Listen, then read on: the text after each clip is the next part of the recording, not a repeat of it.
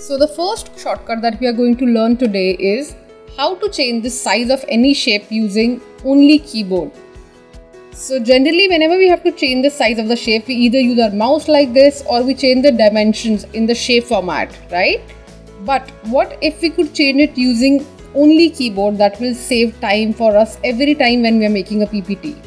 All you have to do in order to change the size of any shape, image or any element is use shift plus arrow keys. Let me show it to you.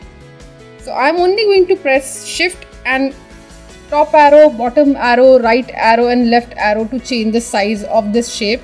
I don't have to use my mouse, I don't have to use my touchpad, I can only do it with just click of few buttons. I hope that you enjoyed watching this one. I'm going to show you a lot more shortcuts, hacks, tools in my upcoming videos. Thank you for watching.